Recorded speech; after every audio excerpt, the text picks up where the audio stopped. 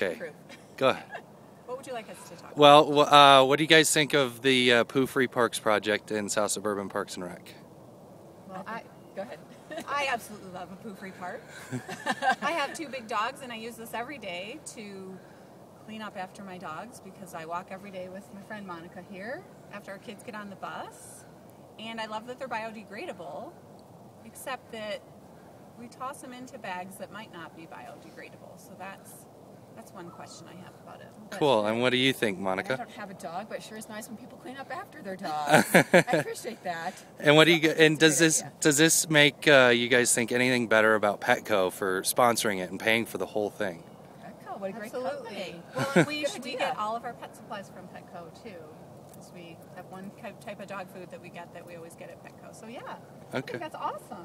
Okay. Cool. Wonderful. Well, that's all I needed. Thank All you, right. ladies.